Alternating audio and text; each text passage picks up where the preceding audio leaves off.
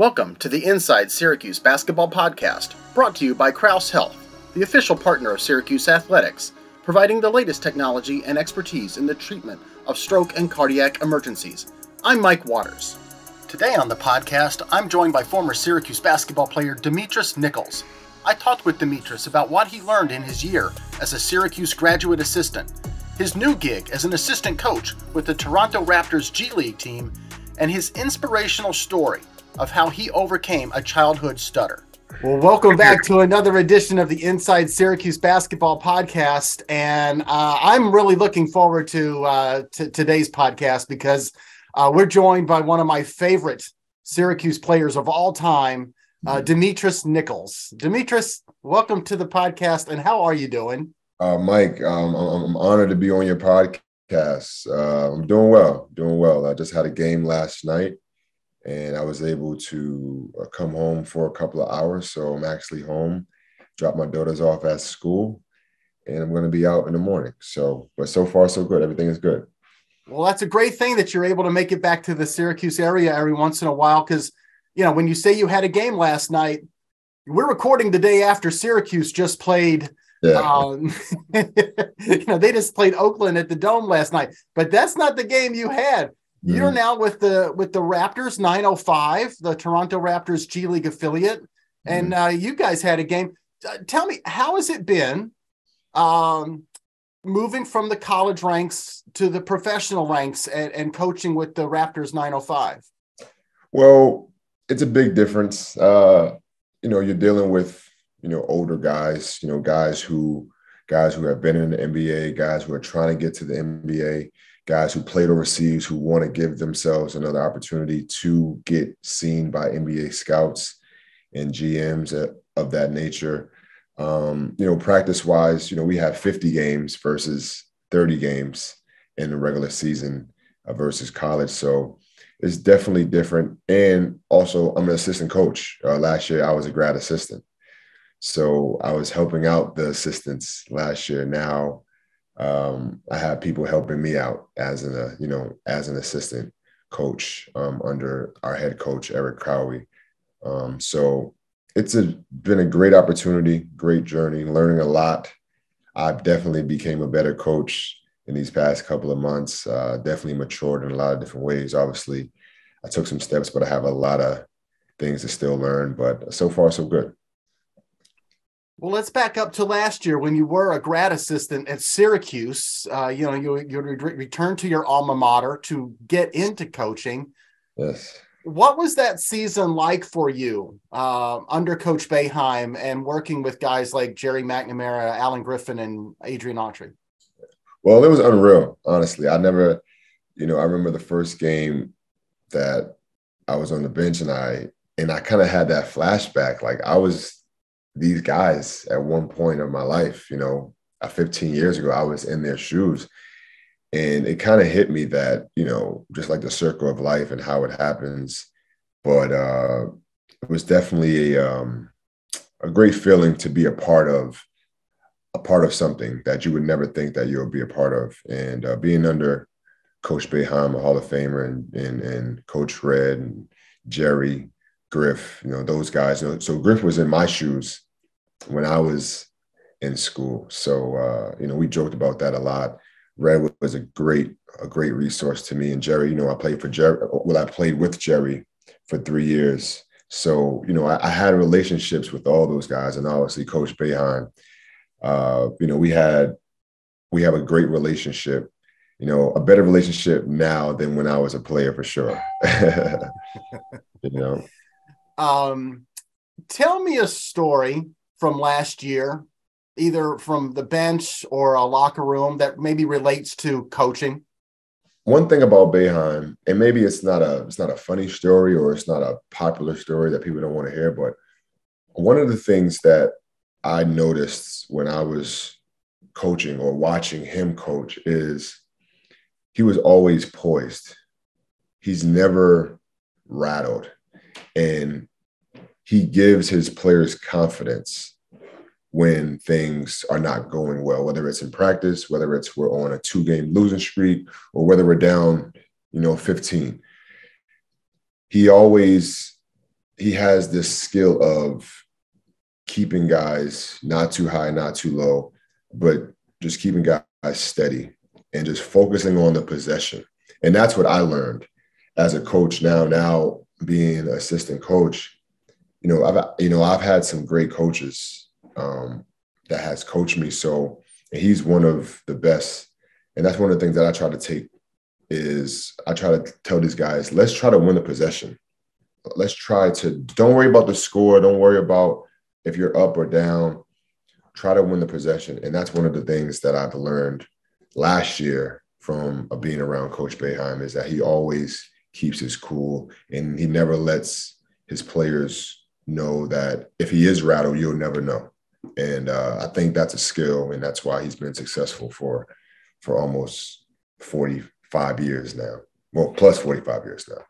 You know, that's interesting that you say that because last year, your year as a grad assistant was a a rare year for mm-hmm. Coach Boeheim and Syracuse. It was his first losing season ever. So yeah. that that patient approach or or or not showing that you're rattled, boy, that that would have been tested last year. Oh yeah, for sure. And to be honest with you, I think we overachieved last year. You know, I don't think, you know, a lot of people thought that we were going to win 15 games. I think people thought that we were going to lose lose more games.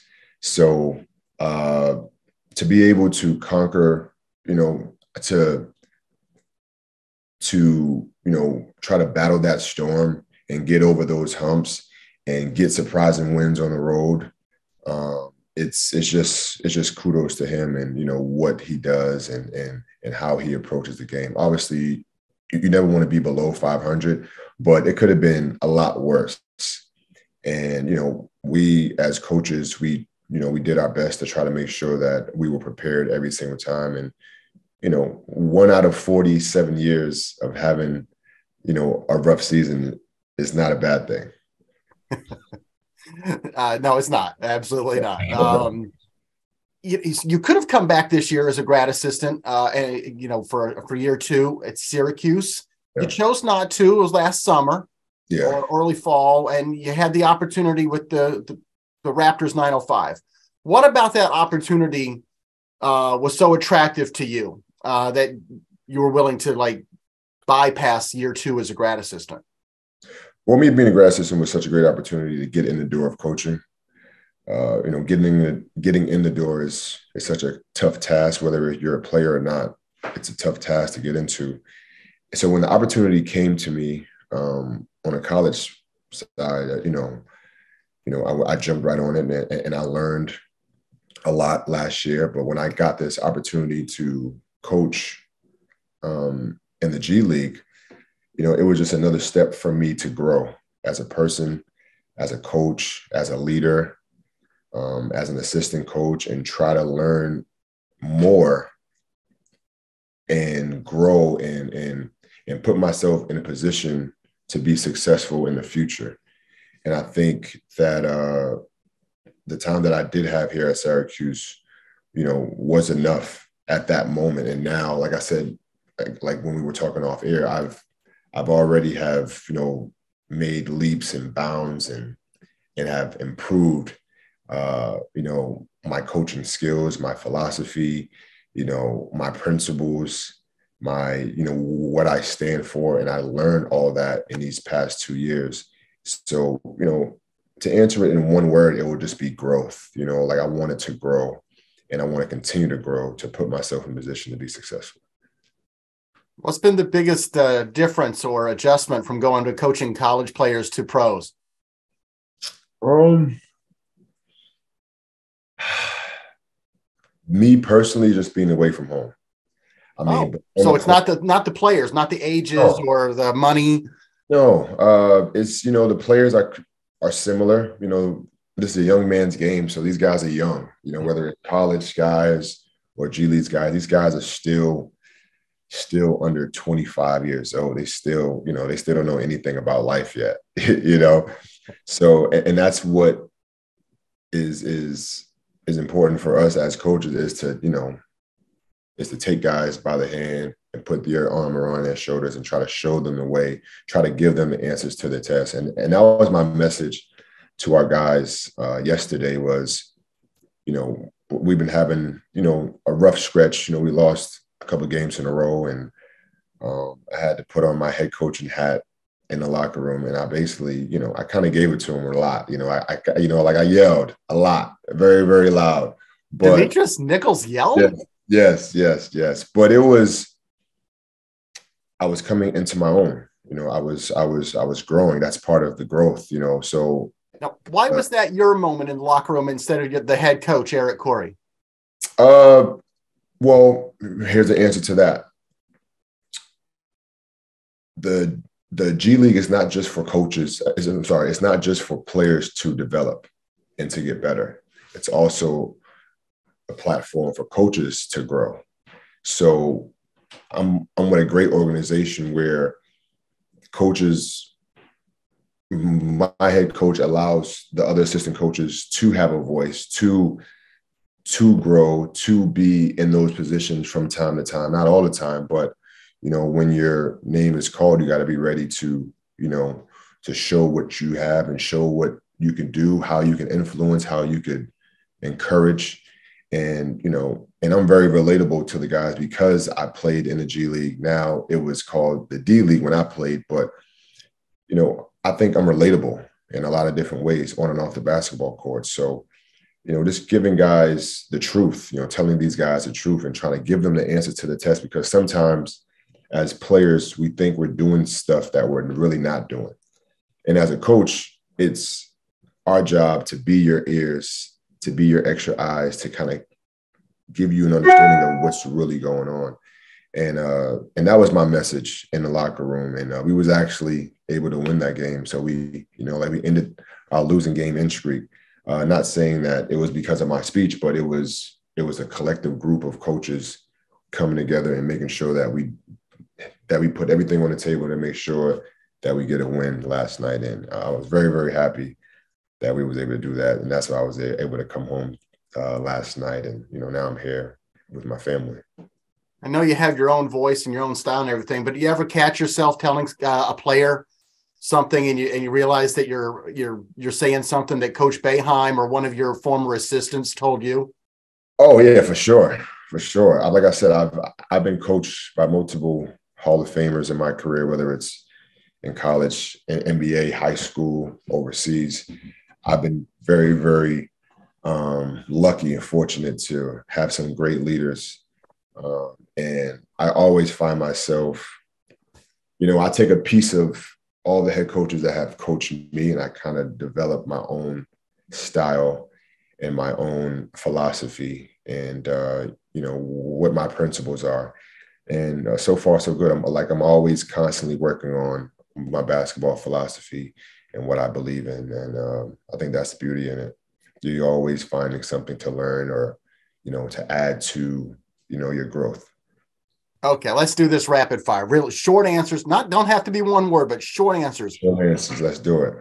What's the one thing you take from Jim Boeheim? Damn. One thing I take from Boeheim is uh, basketball is life. Gerry McNamara.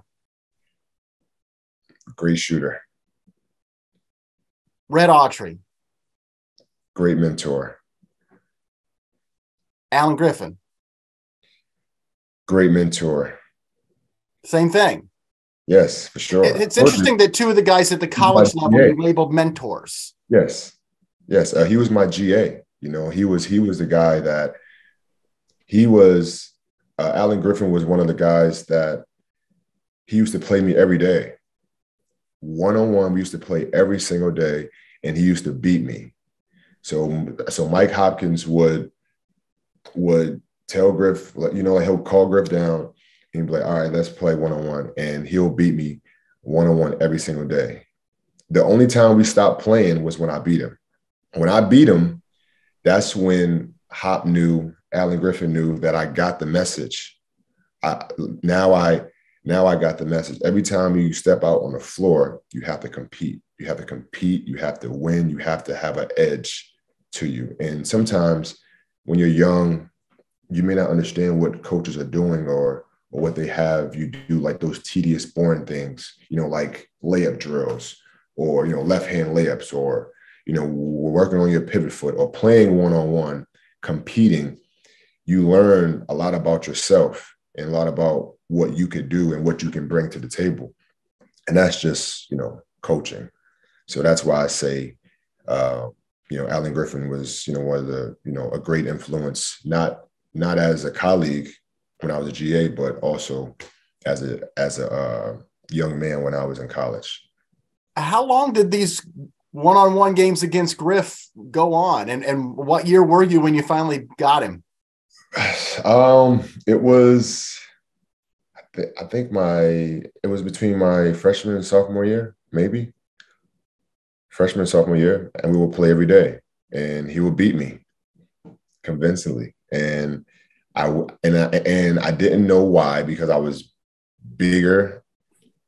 I probably wasn't yes. stronger stronger than him at the time because you know he was older. You know he you know like his body was already mature.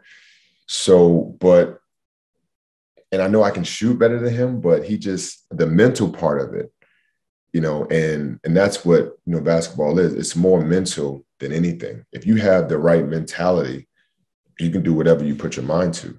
The skill part is easy. You know, you know, everybody has potential, everybody has talent, but how do you separate yourself from being a mental midget versus being a mental giant?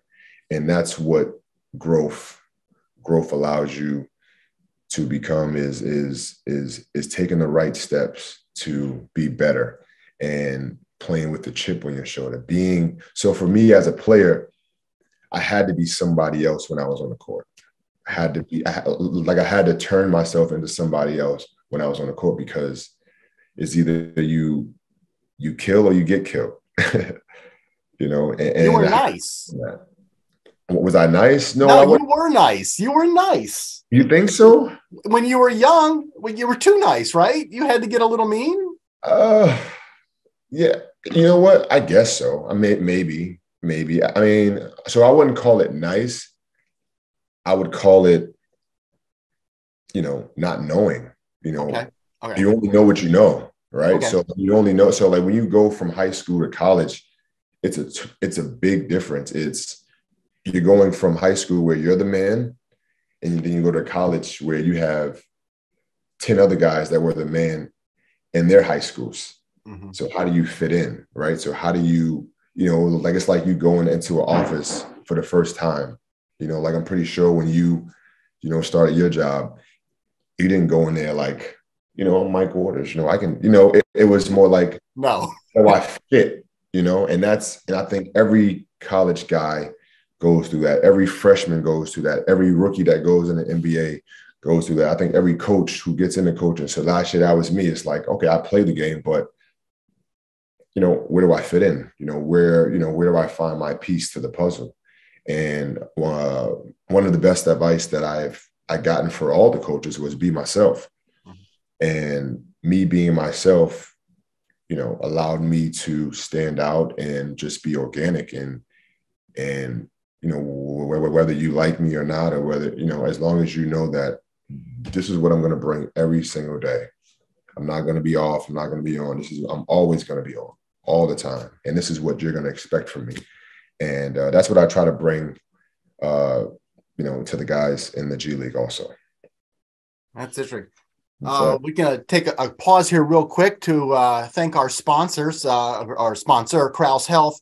Uh, you're listening to the Inside Syracuse Basketball Podcast, which is brought to you by Crouse Health, providing the latest technology and expertise for the treatment of stroke and cardiac emergencies.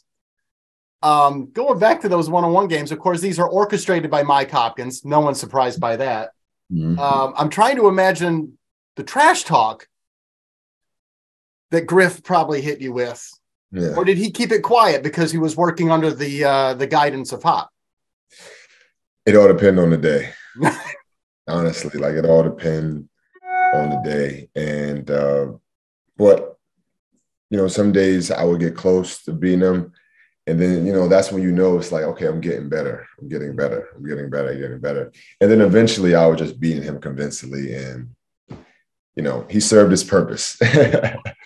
you know, you know, uh, that was his job was was to push me and you know and and he did. And even when i was a ga you know he allowed me to be myself. He allowed me to step in to to to help jesse to help uh the other bigs. Like you know uh, even coach red he allowed me to be myself and and and coach these guys and you know be a piece of the puzzle and just let me you know uh, be myself. So very very appreciative and grateful for that. Well you had a chance to come back to Syracuse not too recent, uh, or fairly recently. Uh, mm-hmm. You were at the Syracuse game against Bryant. Yeah. Um, you know, and I know you know a few of the guys on the team, having coached them last year, like Jesse Edwards and Joe Girard and Symir Torrence, Benny Williams. But there's a whole lot of new faces that you didn't get a chance to coach, yeah. unless uh, maybe you had a few months with them in the summer. Yeah. I was wondering, just in general, what were your thoughts uh, on the on the team that uh, this at this early stage in the season? So, what are my thoughts on the team this season thus far? Um, I think we we have we have pieces. We have mature pieces. We have we have mature and experienced pieces.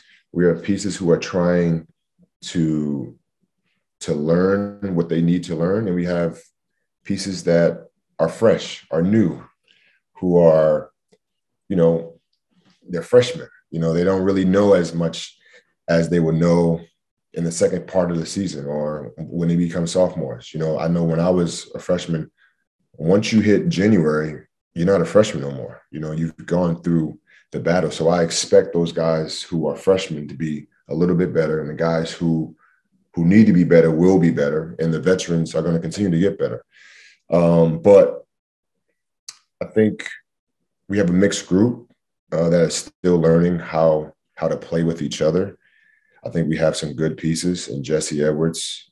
Uh, I think being a foundation defensively, he's doing a good job so far. I think Joe Joe is coming along. Um, you know, being a veteran also, he had a couple of bad games, but uh, he had a really good game last game, and uh, him and Jesse kind of led the way, and that's what we expect um, as coaches, as fans as spectators is, you know, you want your veterans, you know, like the veterans can't have off days.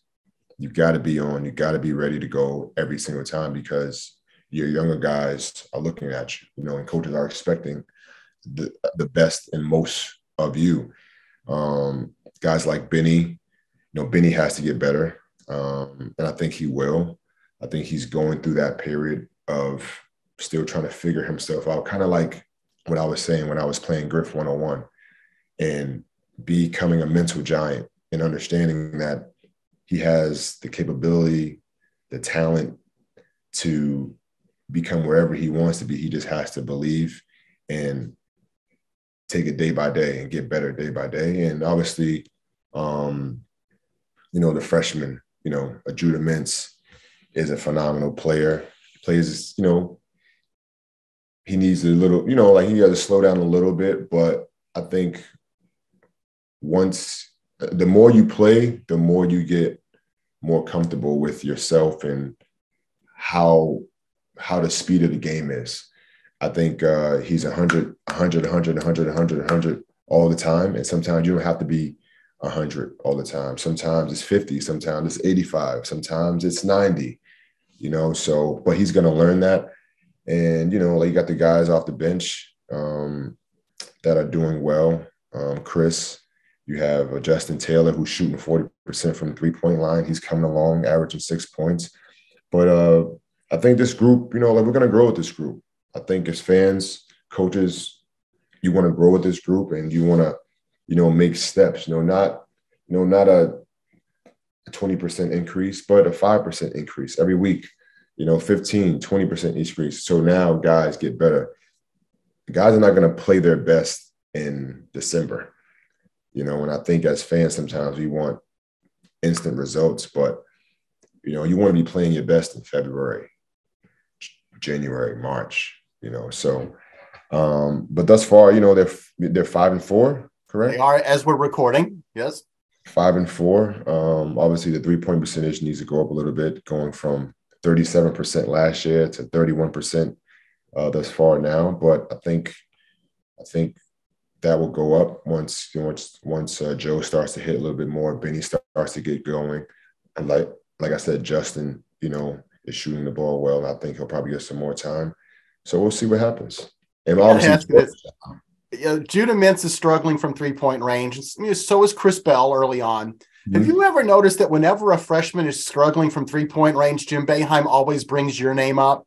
Does he really? Says, oh yeah. Well, Demetris Nichols, if, if Judah Mintz is shooting 15% from three, Coach Boeheim will say, Well, yeah, remember Demetris Nichols, who's one of the best shooters we've ever had, yeah. shot 15% as a freshman. Or if Chris Bell's at 20%, well then Demetris Nichols shot 20% as a freshman. You actually shot 23%. Yeah, it was bad. It was bad, man. And it's and it's and like I said, it takes it takes time. It takes it takes work. You got to put in the work. Mm-hmm. You got to believe in yourself, and you can't cut any corners. You know, you got to be different. You got to have tunnel vision, and that's what I tell the guys now. It's like you can't let anyone distract you. You can't let anything. Every step that you take and make has to be towards your goal. So if you want to become a 40% three point shooter, you have to train like a 40% three point shooter. You don't just shoot the shoot. You shoot, you you train yourself to be as accurate as you can possibly can be. And there's drills that you can do to help you get there. And if you don't get there, you're close enough to get there. So instead of getting 40, maybe you're 38, 39, 37, but it's better than 23 you know, and just, you know, just putting that work in. But I think in due time, you know, those all those guys, you know, will shoot better um, towards towards the end of the season because that's where you want to play better at towards the end of the season. Having brought up the fact that you shot 23% from three as a freshman, I have to note that you shot 41 percent as a senior from three, uh, and it's still the highest three point shooting percentage for any Syracuse player with a minimum of 200 attempts. Really? Did not know that. There you Did go. Did I know that? And, and, you know, it's high volume, high quality. High volume, high quality, and just just training and believing in yourself, and you know, playing for. So when you asked me about, you know, one word to describe Boeheim is, and I and I, and I said, you know, you know, he he, you know, he coaches you. You know, basketball is life. You know, so, you know, the opportunities that he gave me, and I wasn't ready for and I realized it. So he put me on the bench. And now it's like, man, so I got an opportunity. I didn't do what I was supposed to do. It's like same thing as like life, you know, like you got to be ready to go and you have to prepare, you have to work, you have to put the time in. So now when you do get your opportunity, you're ready to go. And if you don't do a good job, somebody is behind you that's ready to do it. Somebody's on your right hand side and left hand side. So you got to always have that chip on your shoulder. And I remember, and I tell these guys all the time, I lost my starting I lost my starting position my junior year for a couple games. I think I, I think I I think I came off the bench for like three games because I wasn't ready to go. And that has that changed my mentality. It's like you always have to know that when you're out there on the court, you have to put your best foot forward because there's always somebody that's trying to take your spot. And I've and I've taken that with me as a professional, and that's why I was able to be successful uh, for 13 years playing professional because of that moment of of never taking anything for granted, staying humble, never getting too high, never getting too low, and just always having something to prove. And that's what I think the good, the great players do is is is always you know, play play your hardest, play your hardest every single time. Later this season, uh, two of your former teammates are going to have their jerseys honored, Hakim Warrick and Gerry McNamara. You played with both. You played two seasons with Hakim. Yeah. I was wondering if there's like a moment anywhere in either in a game or practice oh, or whatever for, with Hakim. Let's start yeah. with Hakim. Yeah, me and Hack, man, me and Hack go way back, man. He was, you know, he was my vet. Um, I remember when I was when I was a freshman on the bench, I used to watch him. Like I used to watch him on the bench. Like man, this dude is he's nice. like I want to be like when I become a junior, I want to play like him. That's what I remember saying that on the bench, and I just remember like I didn't like sitting down on the bench. So I used to watch him in practice and how he approached the game and and and how he he had it goes back to what I was saying before. He always had to be on. Like him as a veteran, as a junior who won a national championship, he didn't have no days off during the game.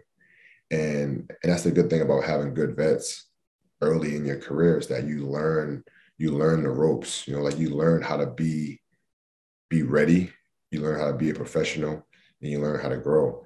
Um, so he's been a great influence in my life in my college years. And even when we were so as professionals, when he went overseas, you know, he played overseas. Um, he played overseas for a couple years. I was playing for the number one team in Greece. He was playing for the number two team in Greece. So we, we were guarding each other, and uh, you know, he'll probably you know deny this, but you know, I was giving it to him. You know, I was I was definitely you know showing him you know, this is not little D Nick anymore. You know, we're both professionals, and uh, we actually won, and I had a really good game against him. And uh, so those are my stories about Hack. I mean, but uh, you know, he deserves you know, all the praise and all the honor to get his jersey retired.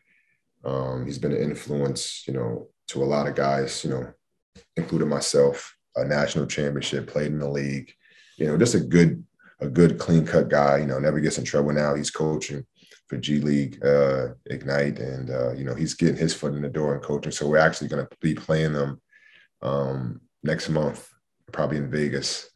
Um, but uh, but yeah, yeah, man, he's been a great a great guy, a great friend to have.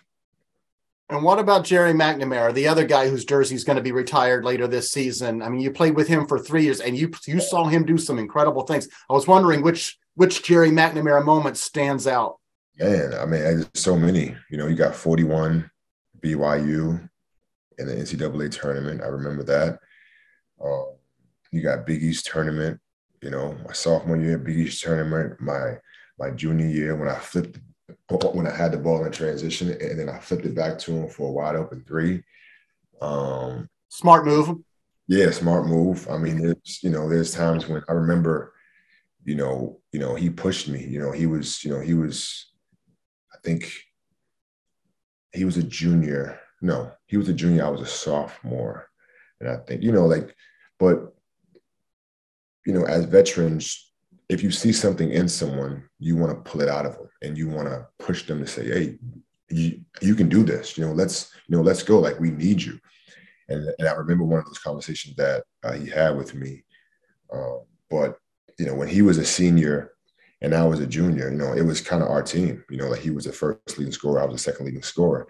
So we knew that I had to be on, you know, not just for Coach Boeheim, I had to be on for him because I didn't want to let him down his senior year. Um, you know, and I had to make sure that I was, you know, I was always prepared and and uh, you know, we battled together. You know, we, you know, we've we've talked, you know, we've cried together when we lost. You know, we've, you know, we've done a lot of a lot of things together, you know, as as as teammates. And um, you know, I'm just honored to be a part of a part of their legacy, you know, to be able to be playing with them or have played with them and now you know, 15, 20 years later, you know, Gerry's coaching um, at his mater, and they're and these two guys are both getting their jersey retired. I mean, I wish I could be there um, to celebrate with them, but uh, they both deserve it, and um, just you know, I'm just happy to be in the room with them. Well, it's always fun to be in the same room with Demetris Nichols. I got to tell you, um, you're you're a pleasure. Uh, you're a wonderful guy. Um, always fun to talk to, and an inspiration as well. We didn't even have to touch on it this time, but for those out there who don't know, who have never read Demetris's story, uh, when I say he's an inspiration, overcame a really uh, severe childhood stutter, mm-hmm. one that you actually you know had into adulthood in in your your playing careers at Syracuse uh, you, uh, we wrote a story about it and did a short video about it uh, roughly a year ago. How you overcame that stutter. I got to mm-hmm. tell you, um, we're probably telling some people about it now, and they just listened to you for half an hour, and they would have no idea yeah. what you went through as a young kid. Oh man, it's you know it was it was a rough, rough couple of what 27 years, maybe. A rough couple of 27 a rough, a rough couple of 27 years. And, you know, I remember, I remember, do, do you remember the game when, I don't know, I'm not sure if I was a junior or a senior. We were playing Wichita State at home. I remember that game. And I got a steal. We were, I think we were down by one. And I had an opportunity to, so I, so I dribbled the ball up I missed the layup because no, why I didn't use the backboard. I should have used the backboard. But, and I tell this story all the time. I remember it was like 30,000, you know, students there, well, fans there. And it was the second half. So when I'm dribbling, all I can see is orange because everybody had on an orange shirt, you know, orange, you know, billboard, whatever the case may be. And the rim is orange. So I wasn't dribbling with my head up. I was dribbling with my head down because I didn't want to mess up. Because I know Coach was on the sideline looking at me like, don't mess up. And once I got to the rim, I was too close to the rim, and I think it hit the back of of the rim and it popped out, and we ended up losing that game. And I remember um, you asking me like, "Do you want to talk?" And I was like, "I have to face the music. I have to face the music." And you know, obviously, like I said, like, you know, I struggled with my stuttering, but I wasn't, I stopped being afraid. I stopped being afraid of making mistakes. I stopped being, I stopped being afraid of that shadow. And having a stutter for that long, you're always, you're always trying to avoid conversation. You're trying to avoid people from talking whatever the case may be. And once I stopped being afraid, once I started attacking my fears, good things started to happen. Uh, not just off the court, but on the court. So the same mentality that I had off the court with my stuttering is the same mentality that, that I took with on the court. It was I'm going to attack my I'm going to attack my fears and I'm going to live with those results. And I remember one of the things that I used to do when I was going through speech therapy, the therapist would say, you have to call somebody and say, my name is Demetris Nichols. I have a startup and I'm working on it. And at first, I was like, what are you, what is this? This sounds crazy. This like it's kind of embarrassing actually. But what it does is it just it clears the elephant out the room. So now I don't have to worry about because now you already know that I have a stutter. So if I do slip up from time to time, I'm not like, how's this person looking at me? Because you already know what I, you know, what I do. So, but um, it took me a while to overcome it. Um, you know, overall, I think in college, my junior and senior year, I got better, but it actually came back a couple of years after I left college. And then once it came back, I'm like, okay, I really gotta I really have to solve this. You know, I, you know, like I really have to conquer this fear, and I really have to conquer this, you know, disability. You know, some people call it a disability, some people don't, but I really have to conquer this disability and you know, be a be an influence, um, be an inspiration, not just for myself, but for my children and for the people around me. So, um, you know, I just really put the time in. I really, you know, you know, look myself in the mirror and say, every day I have a choice to make. Every day I have a choice to to attack my fear, to speak with confidence, and to prepare with confidence. Um, and so far, so good. So far, so good. Um, not everybody, you know, I have a lot of people in my family that started that still started to this day. So, um, and I think I'm one of you know one in a million. But I know there's other people out there that that struggle with stuttering or have their own disabilities. And I know that if I can do it, anybody can do it. And uh, and, and I want to be that inspiration. I want to be that uh, that that motivation for people who who do struggle, you know, in life with whether that's in, whether that's confidence, whether that's having a disability. You know, I know that uh, there's people out there that need help, and you know, I would love to you know help people. So uh, I'm just happy to be here. Well, it, it's a wonderful story. And the amazing part is you get to tell it so eloquently. Um, you are an inspiration. and you're also just a great guy. And I'm so glad you were able to take a little time with us and, and join me here on the podcast. And so we could uh, hear from you and catch up a little bit. And good luck to you for the rest of the season up there in Toronto. Uh, but we will be keeping an eye out for you at the dome in case you pop in to, to watch Syracuse anytime this year. I appreciate it. And like whenever I am in town, you know, I'll always, you know, be at the game. And uh, it's always a pleasure, you know, talking to you. I've known you for a very, very long time, and I really appreciate, you know, the time and effort that you know you uh, you do to reach out to me and always stay connected. So uh, you always be my guy.